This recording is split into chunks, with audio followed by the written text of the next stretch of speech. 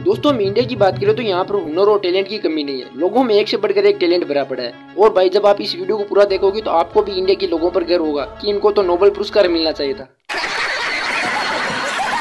तो चलिए दोस्तों, बिना टाइम वेस्ट किए वीडियो को स्टार्ट करते हैं। भाई, दोस्तों, एक बात तो पक्का है कि जब सांड को गुस्सा आता है तो हमको हमारी नानी याद आ जाती है। अब दोस्तों, आप बोलोगे वो कैसे? तो भाई, आप पहले इस वीडियो में देखो। यह जनाब अपनी मर्दान की सांड को दिखा रहा था। और फिर क्या? सांड ने भी दिखाई अपनी मर्दान की। अब भाई इस वीडियो में हमें क्या दिखाई दे रहा है कि योग गुरु बाबा रामदेव अपनी पतंजलि साइकिल लेकर वर्कआउट कर रहे हैं और ये क्या? भाई इसके बाद तो बाबा रामदेव भी बोले होंगे। साला ये दुख का खत्म नहीं होता बे। दोस्तों एक बात तो माननी पड़ेगी कि इंडिया के लोगों का डांस वेस्टर्न डांस से तो कहीं अच्छा है और वो ऐसा इसलिए क्योंकि हमारे यहाँ पर शराब से टली होने के बाद लोगों को पता ही नहीं होता कि वह किन के साथ डांस कर रहे हैं। अब इस वीडियो में देख लो ये चचा पता नहीं इस कुत्ते में क्या देख लिया जो इनके साथ डांस कर रहे हैं। कौन है ये लोग? दोस्तों यहाँ पर पता नहीं शायद लड़का एग्ज़ाम में पास हो गया।